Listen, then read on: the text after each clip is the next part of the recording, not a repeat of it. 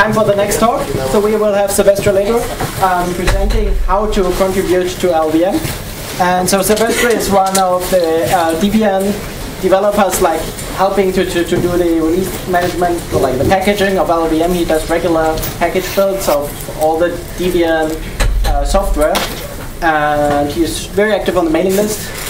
And yeah, he will give, he will kind of explain you how you sneak into the LLVM community and then place your first patches. Thank you. So who here, who here never contributed any patches to LLVM? Oh, right, cool. I won't be talking for nothing. So first, I'm going to add a uh, to speak about the license. It's not about trolling, uh, as some people said previously. We had some discussion with the GCC folks.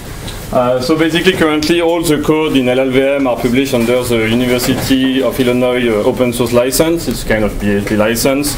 Uh, some of them are also published under the MIT license, as a dual license, and we don't do copyright assignment. I'm not the one who put that, it's Renato, basically for trolling, who asked me to ask this last time. Uh, some statistics uh, on LLVM. So, uh, in, uh, in, the history of LLVM, we have 379 contributors who did some code.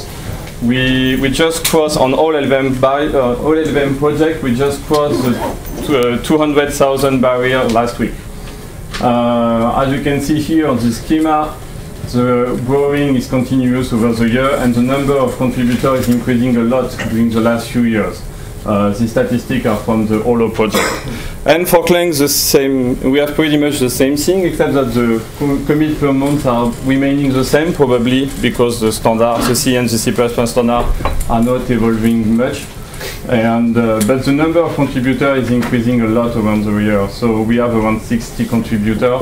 And if you look at the last 30 days, we have 70 contributors, including three new ones. And over the last year, we had 176 contributors, which is uh, 34 more than during the last 32 months. So the project is going very well, and we have new people coming all the time, and new corporation, new company, and new researcher involved in the project. Uh, when I, start, I started myself to be involved in the LLVM community because I wanted to try Clang. I didn't care about LLVM at all, but uh, I was very interested by a new C, C++ compiler. So I went to see in Debian the state of the packet, and I saw that they were not maintained for a while. So I started to maintain Clang, and I noticed that when you want to package Clang, you need to package LLVM, so I started to package LLVM. And I needed to forward some patches. And one of the first patches that I forwarded to the mailing list was the Hurd support. Uh, as many of you know, the uh, kernel is supported on Debian, but they don't have much user. So I was expecting an answer like, no, we don't want this crappy patch. But they applied it in, within two hours. And I received an email from one guy from Apple in private telling me, oh, it's very cool to see some folks porting LLVM on other architecture. So I was very surprised because I was expecting a project driven initially by Apple to be very reluctant to this kind of patches. And I also did the kFreeBSD patches and support, so I was very surprised to see that the answer from the community was very good. So I, I consider the, friend, the community as very friendly. Uh, it's mainly professional. We have some researchers, some academics like Tobias and a few others like Bruno who is taking care of the video right now, who are involved in the project, but many people are professional like Renato.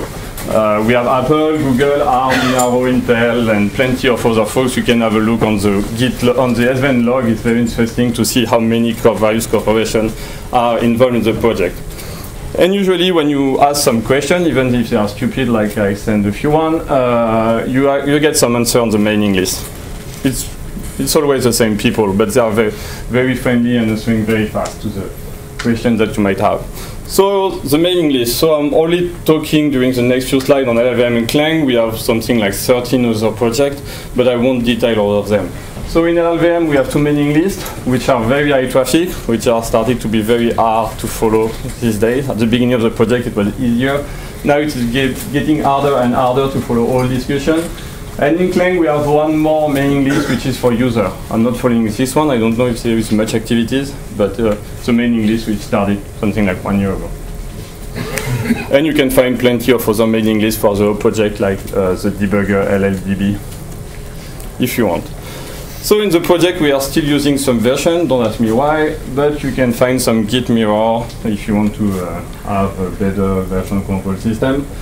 And once you get the permission on the project, you get permission on every project of LLVM, even the website. So if you want, if you get uh, plus W permission on the SVN repository, you can modify llvm.org. It doesn't matter. So obviously we don't do this kind of mistake by changing the website to use advertisement on, on this, but you can do that if you want.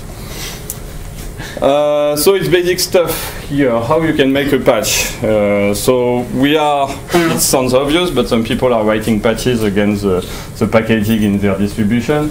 So you have, when you want to write a patch, you have, you have obviously to do it against the trunk. You have to use svnd for diff-u. Uh, you have to uh, have unitary tested or non-regression test if you fix a bug. Uh, sometimes it's not possible, so you have to explain why it's not possible. And you have to pass the whole test suite. So for this item, uh, it is uh, something which uh, remains to be discussed. So I asked Tobias and Renato to review my slide, and during the night they sent something like seven emails discussing this item. so for now it's not a requirement, but it might become in the, in the next release. And when relevant, and I'm the one who has that because nobody is doing it, please update the release note when you are doing some contribution in LLVM, because most of the developers, they don't care. So we have to review the Git log after that to understand what changes have been done. So the review process, so we have various ways to do the review in LLVM. So uh, it is documented on the URL that you have on the top. For minor patches, you can commit directly without any review. So it's basically typo or minor fix and so on. Uh, for non-regular contributors, you can also send emails on the various mailing lists, so people will, will review it in the kernel way. And we, we don't do private reviews. Everything is going on the mailing list. So if you want to contribute a patch, basically you send it on the mailing list, you wait for a reviewer, and they are going to address your comment or tell you straight uh, LGTM, which means looks good for me, and you can commit the patch. If it is not good, you, you do the fix and you uh, send an email again and so on. Uh, if you have the permission to commit, you send it yourself. If not, you just send the you just uh, answer to the email looks good for me. Can you apply this for me? And that usually goes very fast. Uh, that sounds trivial comment and uh, and things, but it's really important to, uh, to, say them when you want to contribute to the project like LLVM and Clang. Uh, you should make the patch as small as possible and usually atomic in terms of features. One patch is one feature. And uh, if you have unrelated fix, you have to split them into multiple patches. like any project, we prefer to split. We don't mind the number of commits going in the project. And uh, when you want to get a review, you have to CC the possible reviewer to get that. Uh, you do git blame or svn, I don't remember the command. And, uh, and you can also look at what we call in the project code owners, the people who, who are in charge of some part of the code. So if you want some uh, approval from uh, optimization, you can send an email to Renato if you want some information about Polly, Tobias, and so on. So everything is documented and there is a file which lists all the code owner. Uh, we have some informal rule about uh, pinging people in the project. So if you send a patch and nobody is answering to you because the patch is, is only specific to you or some very weird architecture, uh, it's common that you don't get any answer. So you just have to wait for seven to five days to ping on the mailing list saying, can someone have a, a look to my patch? And don't forget to uh, rebase it to the trunk. And one advice also is to get yourself known, so don't hesitate to do some simple bug fixes or some improvement of the code or some better documentation to make yourself known. Because if you are known in the project, people are more willing to help you to uh, get your patch applied. Uh, about review, so some of us are doing some patch review. Uh, you don't need to be the code owner of the specific part um, for the patch you are reviewing. You just uh, can review any patch if you want. Um, you can um, you can say look to me if you are not really a specialist of this part. And um, so the, uh, the interest for yourself to review patches is you have more chance to see your patches applied after that by other people.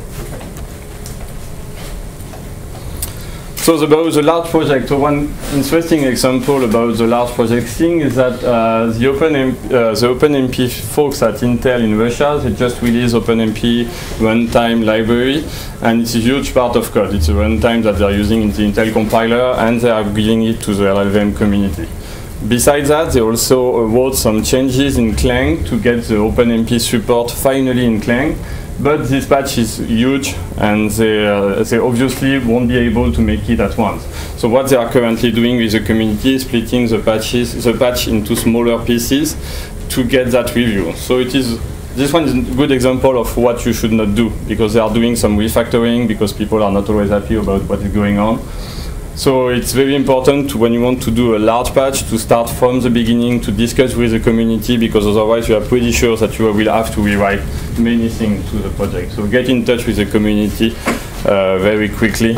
It really helps when you want to get some bigger patches into the archive.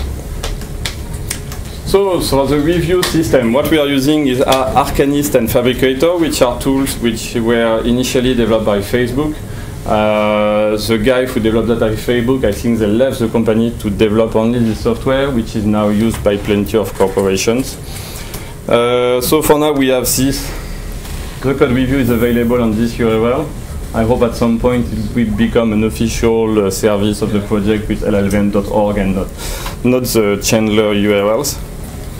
So here is uh, a change. I took one of mine. So basically, uh, in this patch, I found a bug. So in, when we are building uh, Clang, in, when we are using Clang into the CH root, if slash proc is non-pointed, we had some bugs. So I fixed that bug and I improved the detection code of uh, the Clang path. So you can see here that I'm a author. Raphael, who is one of the biggest contributors of the project, was a reviewer, and um, and so I didn't provide any uh, unit test here, because it's quite tricky. To do that, you have to create a CH root and disable some feature. And on the bottom, you have access to the original code and the new one. And you can see that Raphael here uh, asked me why I added an extra white space, which was a mistake from my side, so I fixed that in the commit.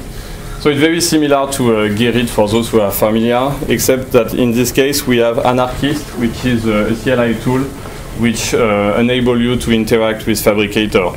So it's built on top of Git and Mercurial and SVN also, forgot to mention that. And you can interact with this tool to uh, get your patches approved, applied, and so on. You can see the diff. It's quite powerful and it's working pretty well. But it's, it's done in PHP, so if you don't like PHP, you never notice that it was PHP. No. So to get the plus W permission on the project, so after you get a few patches applied, you um, you send an email to Chris Lattner, who, who is uh, the founder of the project, who is still very involved, and he is now the head of developer tools at Apple.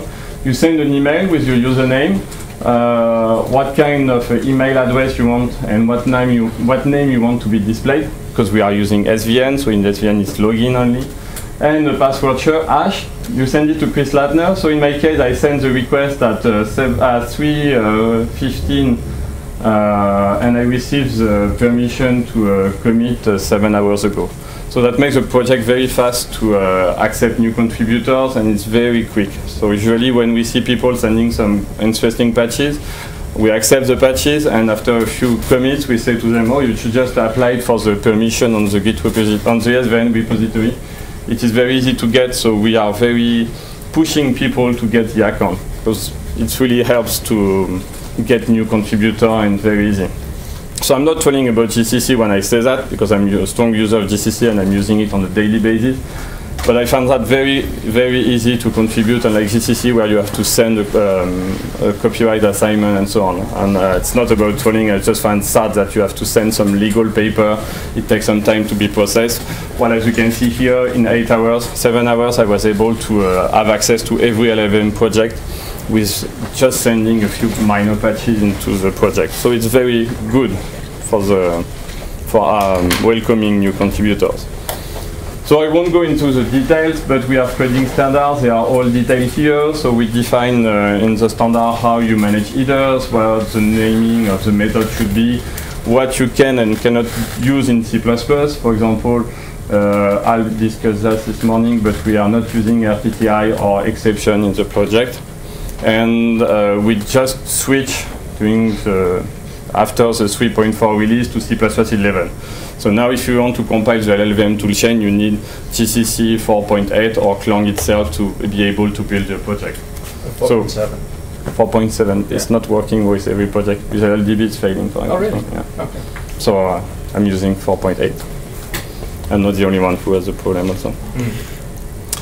So some ideas if you want to contribute. So in uh, on LLVM we have open projects. On Clang we have the same, so I won't go into the details, just, just go on the URL. If you are a student, uh, we are applying every year for the GSOC, for the Google Summer of Code, so we have project. Uh, as you probably know, compilers are not very always easy, so it might be tricky to find a project which matches your skill. And besides that, we have plenty of other projects. So we have Polly, Tobias is going to talk about that. We have LLDB, which is uh, a great debugger. So it enables you to do some very interesting uh, um, print of the stack trace in C++, evaluation on uh, live because it is based on Clang. So it's a very powerful project. We can use LLDB. It's more, for now, I think, a proof of concept. It's not very usable on Linux devices. Uh, but you can have a look and will, I will be very happy to package it in Debian when it reaches a good state.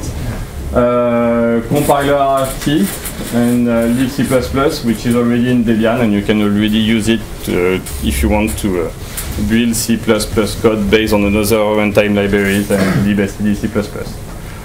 Uh, we have also a bug tracker. I'm not very happy about the quality of the bug tracker because, because some, some bugs are reported on the Apple bug tracker. Uh, many developers don't really care about the bug tracker, so the, you will find plenty of bugs which are already fixed. Uh, I think we should need, we will need someone at some point to do some huge cleanup in the bug tracker. Uh, we are doing the same as uh, Jan Simon showed for the kernel previously. We are rebuilding uh, twice a day uh, the whole LLVM toolchain with scan-build, which is a Clang static analyzer. And we have almost 300 errors which are detected. Some of them are false positive. But there are about 100 super easy patches to write, which are dead assignments. So it's basically some uh, assignments which are useless. So if you want to start, those three ones, so almost 200 uh, errors are very easy to fix, and we will be very happy to apply them in the project to improve the quality of the base code. But it's a very good number, 300. If you can come to try on, a bi- on other projects similar in terms of size, you will find many more errors. So I, I'm speaking super fast, but uh, I'm leaving some time for question or discussion. Well, I'm not a very uh, deep developer in LLVM and Clang, but I know that some people in the room are. So if you have questions on deeper aspects and so on, don't hesitate. Well, I think I have one. Yeah. Uh, you said that by getting a few simple patches uh, accepted, you actually have the rights to apply for the right access to the whole repository. Yeah. Don't, doesn't it sound a bit risky to do that? For now, we didn't have any issue, but every people are, are watching the patches which are sent, and ev- for every modification in the project, we receive email and people are reading the changes. And we have a huge unitary test suite, so I don't see any issue. I think the build boards help a lot with Yeah. this. And there's uh, pre-commit review and post-commit review, and there's a lot of people doing post-commit review. Uh huh. I so if, if you do something silly, they will revert your patch and remove your rights. It's, Okay. You know, they act on a reactive basis rather than proactive basis. Okay, I understand. So we have no problem with the, uh, no, enforcing the culture of uh, uh, in the coding and the commenting. I see. All right. Um, I had a question about the actually documentation because I spotted an issue in the documentation a while ago, but I wasn't really sure who to speak to about it. 'cause I looked at the blame and the, the original source of the documentation was when you moved from the old documentation to Sphinx, and that was a massive commit. So I don't really know who to speak to about this. so I put an email up, but I didn't really hear anything. But if you could suggest who I could speak to. It's better you send a patch the I mean. I, I thought about it, but I wasn't quite sure how to patch it. So it's for the for LLVM lit, like you know the substitution variables you can use. Like it seems a little out of date because some of them don't exist anymore, Right. as far as I can tell. I mean, I can write a patch if you want. Is that the better way to Uh, go? yeah, yeah, do. So yeah. Yeah, normally just send the patch out to the mailing list, and I think for LLVM Lit and this refactoring, actually Daniel Dunbar is the guy who did it. But just send the ma- patch out to the mailing list. Maybe co- CC him, and even if he doesn't reply, like it will be on the mailing list. And Yeah, again, somebody will see. someone will see it. What, what was the name of that guy, sorry? Daniel Dunbar. Oh, oh, yeah. You know him. Yeah. And yeah, if nobody replies, just ping it a week later after, and at least after the second ping, like there will be someone. But he always reply. Yeah, he's- normally he's he does. You know, in the end, it will take a few days. Yeah. Yeah. But he replies. Uh, another question. There are a lot of projects that are based on LLVM that are embedding the LLVM, like, like thinking about Rust or, or the new languages or whatever. Are you doing something like for proactively encouraging them and contributing back, or just owning so many forks that they will get diluted in the end? I'm not aware of that many fork. And uh, in the case of Rust, as you know, it is mainly to get the people who did some changes in LLVM to uh, improve the patches and provide some unitary tests to make them applied. But usually this kind of patch are, are quickly applied if they make sense. Yeah. And I know that there is some issue in the case of first on some specific. just I'm seeing, I'm seeing LLVM embedded in many, many other systems that I'm using, so I'm wondering if it's something to encourage them. For example, also S3, maybe it's our fault, is embedding its own copy, not linking to libraries or whatever. I think it's um, every popular library has this issue at some point. People are embedding them because they want to do some changes and they don't want to bother about getting the, pi- the patches applied upstream. It's mainly how you can explain to people the right way to do, to do it, but it takes time and it's hard. Uh, So LLVM has like one, and basically LLVM is developed very rapidly, and there's no guarantees on any libraries bindings except the C bindings. So this is kind of a, yeah, it's an encouragement for everyone to actually follow the latest version because it doesn't take very long, and then your code doesn't compile with the older versions. so Yeah. You mentioned this earlier, but um, somewhat.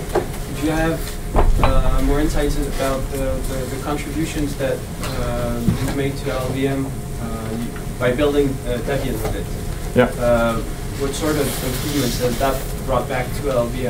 Support for more code or? So, for example, one of the things that one of the dis- recent discussions that I started is uh, the usage of dash uh, f in in uh, GCC is widely uh, spawned. So you have plenty of packages which are using this kind of option, but many of them are deprecated and doesn't mean anything. For example, one of them is uh, force use the usage of E- UTF-8.